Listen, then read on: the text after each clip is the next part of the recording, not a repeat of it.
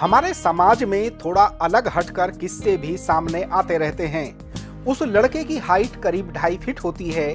वह मामूली काम करके अपना जीवन बसर करता है और शादी करना चाहता है। उसकी शादी की ख्वाहिश ने लोगों को गुदगुदा दिया और वह सोशल मीडिया पर छा गए।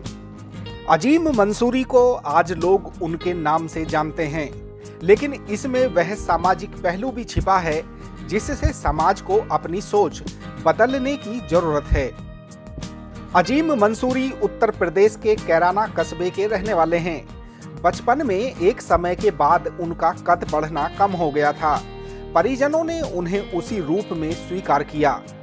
वह अचानक तब सुर्खियों में आ गए, जब वह अपनी शादी कराने की मांग को लेकर सीधे महिला थाने पहुँच गए।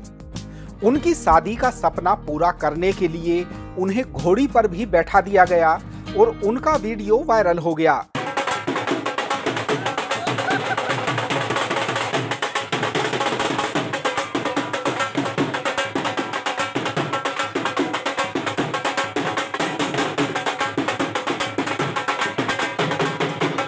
इसके बाद उनके लिए रिश्ते आने लगे।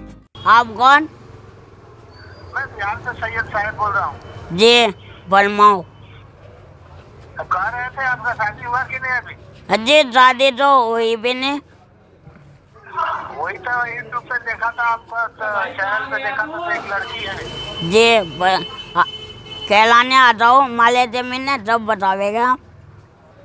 तो आप वहाँ पे कैसे आ जाएँगे? हम बिहार से बोल रहे हैं। जी हम बिहार से बोल रहे हैं बिहार से आप करोगे बिहार में शादी? अजय अजय गले का इंशाल्लाह कोई बात नहीं। आखिर अजीम का रिश्ता उनके ही जैसे कद वाली एक लड़की के साथ तय हो गया। अब वह अपनी दुल्हन को हेलीकॉप्टर से लाना चाहते हैं। अजीम सीधे सच्चे और नेक दिल इंसान हैं। यह उनकी बातों से भी पता चलता है। अजय जब अल्लाह ताला ने मुझे चला तो कला था। मुझे बहुत बहुत दौलत है जीवन शादी के। जी, बहुत सारे खुश है। मेरा दिल माने बहुत खुश हूँ। अजीम की शादी को मजाकिया अंदाज में लिया गया।